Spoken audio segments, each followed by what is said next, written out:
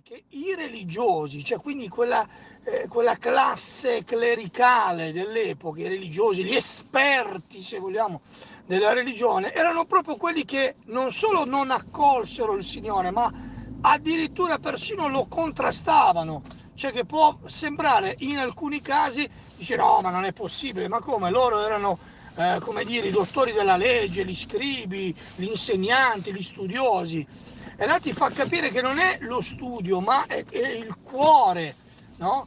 che, che, conta. Ecco, questo vale per tanti no? che magari sanno anche tante cose della Bibbia, ma poi non hanno un cuore aperto alla misericordia, all'amore di Dio, eccetera.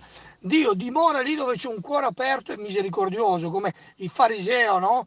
che si innalzava, invece quell'altro si batteva al petto, Gesù ha detto che quell'altro lì andò a casa giustificato.